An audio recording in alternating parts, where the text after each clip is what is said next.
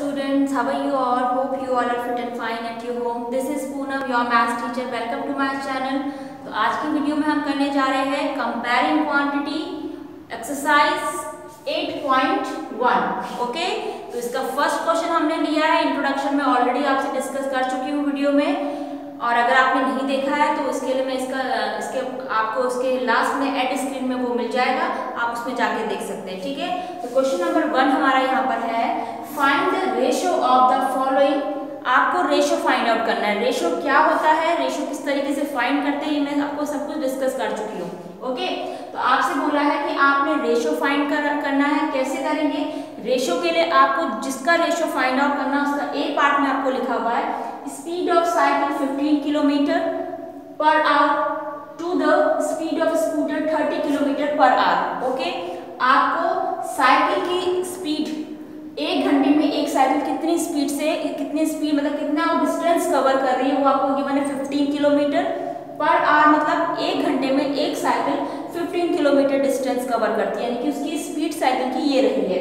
Then इसका ratio आपने find out करना है to the speed of scooter scooter की स्पीड से जो कि आपके पास 30 किलोमीटर है पर आवर यानी कि एक घंटे में स्कूटर 30 किलोमीटर डिस्टेंस कवर कर रहा है और साइकिल 15 किलोमीटर डिस्टेंस कवर कर। रहा है ओके ऑब्वियसली बात है स्कूटर साइकिल की कंपैरिजन हमेशा कम सम सेम टाइम में अगर हम दोनों का देखेंगे तो स्कूटर जो है वो ज़्यादा डिस्टेंस कवर कर सकता है, क्योंकि स्कूटर की स्पीड साइकिल से हमेशा आपको पता है कि ये तेज होती है तो यहाँ पे आपको यही डिफरेंस भी दिख रहा होगा एक तरफ़ से कि 30 किलोमीटर स्कूटर का है एंड साइकिल का 15 किलोमीटर तो रेशियो फाइंड आउट करने के लिए आपने पहले देखना है टू टू के बाद आपके पास स्कूटर का डिस्टेंस दिया है टू से पहले साइकिल का दिया। तो यानी कि साइकिल टू स्कूटर आना है अपने रेशो के लिए। तो पहले आप कौन सा लिखेंगे?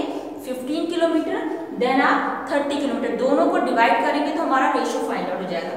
तो यहाँ पे हम करेंगे, आपको रेशियो फाइंड करने के लिए आप सीधे से लिखेंगे speed of a cycle upon speed of scooter that's it आपने ज़्यादा कोई स्टेटमेंट नहीं बनाना है, क्योंकि वन मार्क में ही आपको क्वेश्चन आएगा लेंथी क्वेश्चन नहीं आएगा। तो रेशियो फाइंड आउट करने के लिए आपने क्या करा? Speed of a cycle and speed of a scooter cycle का स्पीड आपके पास कितनी है? 15 किलोमीटर देन आपके पास स्कूटर की स्पीड कितनी है? 30 किलोमीटर अब यहाँ पे एक चीज़ मैं आपको बता दूँ। अभी हमारे पास kilometre kilometre units are same ठीक है? यूनिट बिल्कुल सेम है तो कोई प्रॉब्लम नहीं है इस क्वेश्चन में। आप डायरेक्टली सीधे से आपने क्या करना है? इनको कैंसिल आउट करना है। किलोमीटर से किलोमीटर कैंसिल आउट हो जाएगा। देन 15 वन जा 15 15 टू जा 30 यानी कि 1 अपॉन 2 आया और रेशियो को हमेशा कैसे लिखते हैं? इस तरीके से। इसको क्या बोलते हैं? इस two one is to two okay यहाँ पे यूनिट सेम है। प्रॉब्लम वहाँ पे आती है जब आपको यूनिट अगर सेम नहीं देती। सपोज़ यहाँ पे एक डिस्टेंस आपको किलोमीटर में दे दी होती और एक आपके पास आपको दी होती।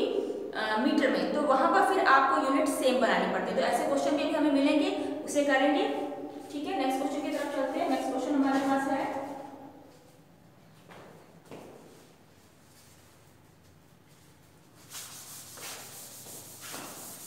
वीडियो को पॉज करके ठीक है आप क्वेश्चन को उतार लीजिएगा देन हमारे पास है आपने नेक्स्ट जो रेशियो फाइंड आउट करना है बी पार्ट में ये लिखा है 5 मीटर टू 10 किलोमीटर, यानी कि 5 मीटर का 10 किलोमीटर। यहाँ पर अभी कोई स्टेटमेंट नहीं दिया मैंने डायरेक्टली आपको दिया है 5 मीटर से 10 किलोमीटर में आपने रेशियो फाइंड करना तो देखो, हमारे पास 5 मीटर और 10 किलोमीटर का रेशियो फाइंड आउट करना है।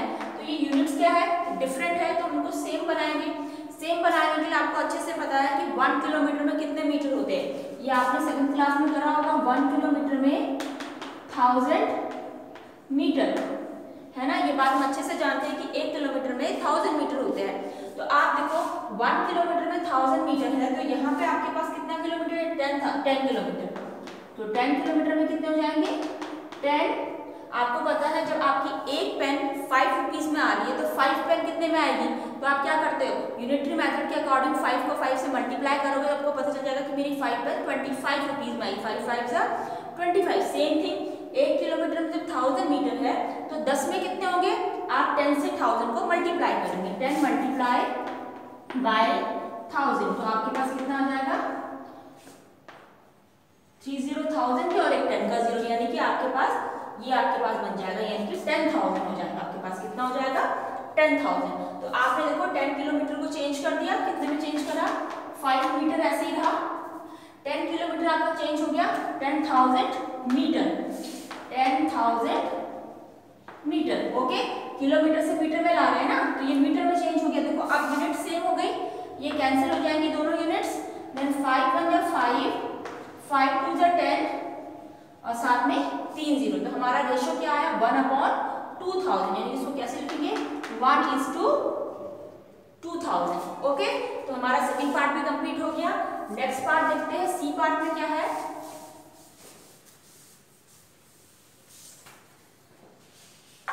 सी पार्ट हमारे पास है फिफ्टी पैसे टू रुपीज़ फाइव ये आपको गिवन है फिफ्टी पैसे टू रुपीज़ फाइव अब यहाँ पे भी देखिए यूनिट सेम नहीं है. पैसा रुपये और रुपीज़ और पैसे में आप रिलेशन क्या जानते हैं? आपको पता है वन रुपीज़ में हंड्रेड पैसा होता है. कितना होता है? वन रुपीज़ में हंड्रेड पैसा. ठीक है? तो आप जब पर इसको रेशो में आप फाइंड आउट करेंगे. तो कैसे फाइंड आउट करेंगे? देखिए। फिफ्टी पैसा, आपने निकालना है फिफ्टी पैसे का रुपीज़ में यानी फिफ्टी पैसा ऊपर आएगा, ओके? और रुपीज़ फाइव रुपीज़ नीचे आ जाएगा आपके पास। अब आप क्या करेंगे, इस रुपीज़ को, आपको रिलेशन क्या पता था? रुपीज़ से पैसे में पता होता है ना? तो आप इस रुपी को चेंज कर देंगे। वन रुपीज़ में हंड्रेड पैसा तो फाइव रुपीज़ में आप कितना बोल सकते हैं? फाइव इंटू हंड्रेड पैसे इक्वल टू फाइव हंड्रेड पैसे आ जाएगा, आपके पास पैसे को मैंने पी लिख दिया कंफ्यूज मत होना। ओके तो ये देखिए फिफ्टी पैसा ये ऑलरेडी है। और मेरा ये फाइव रुपीज़ आप देख सकते हो फाइव हंड्रेड पैसे में कन्वर्ट हो गया है। देन ज़ीरो से zero cancel five five five five and zero तो ये कितना आ गया आपके पास answer one ratio ten okay तो हमारे पास क्वेश्चन नंबर वन के थ्री पार्ट्स कंप्लीट हो चुके हैं तो अब मूव करेंगे क्वेश्चन नंबर टू में तो क्वेश्चन नंबर टू कराने से पहले student please pause the video and note this question number one